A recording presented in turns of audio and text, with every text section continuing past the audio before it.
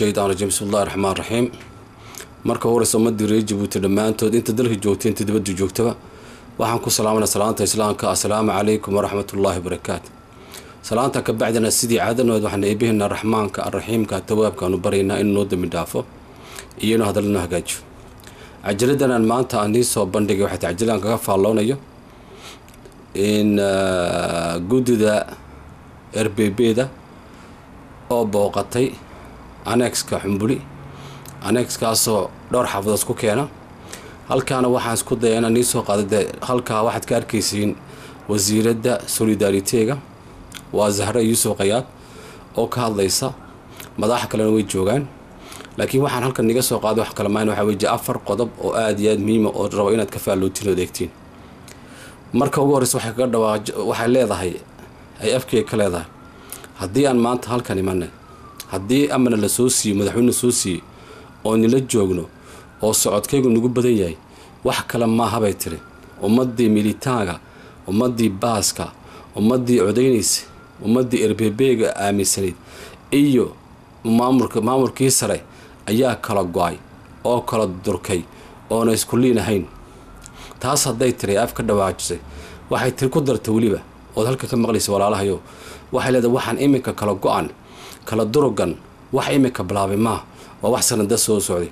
Halkanay hadda maanta ka hadlaysana waxaa weji waxaan ku jirnaa bishii mee ayay ku jirnaa waa markuu voodkii soo baxay.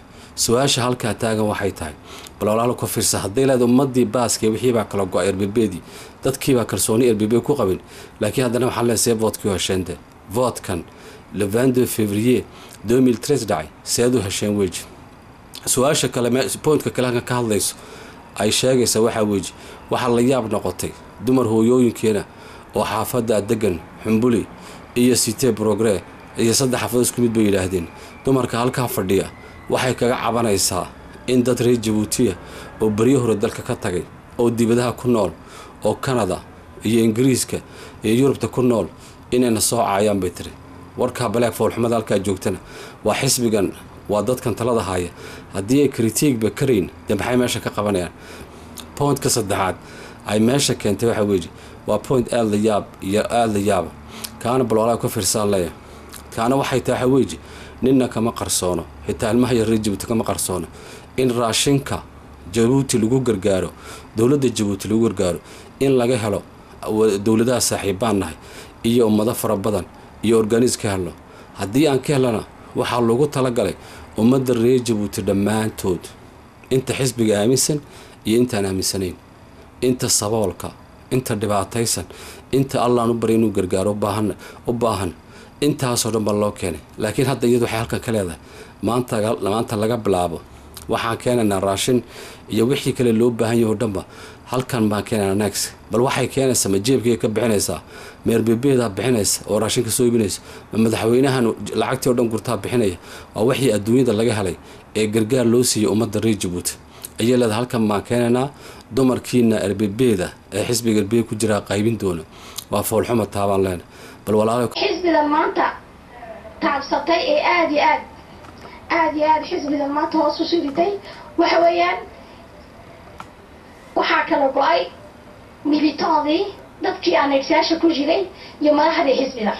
Dee kala wadahadalkan amba kala go-ana maanta u imadi sanadaha loo dhan buu jiray marka mucaaridka doonaya de inuu teleediyo yurub markuu joogiyo canada markuu joogiyo doonaya de inuu wadanka iyo madaxda wadanka soo caayo mucaaridkaasi toban sanadood iyo labaatan sanadood ka maqanay maanta imide maantale waa nidhex joog iyo xaafadaha kale oo dhanba wax waa la keenaa horta.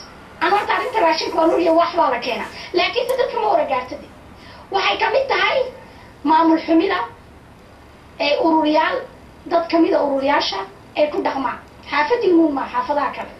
Waxaa rajaynan anaku siduu xuseen soo sheegay hawlaha laga qaban doono xaafadihiina anexkaa la dhex keenaya. Hawlaha ku saabsan hooyada anexkaa la dhex keenaya. Maxaa la rabaa de mas'uuliyadiiyo dambida ninkaani saaranaad raashin siduu doonaa u ekaaday xaggaabaa nii soo dhigana ninkaa dadka soo qoray. Laba laba jooyadoodnaa noqo bal inaa wax la isku haneeyo oo wax isku daysatiin baan eegana. Wax tuu ilaahay ininka mid kastoo inta u badan hadday maanta dee ka jabtay waxa taala dee mid baa dee u taala.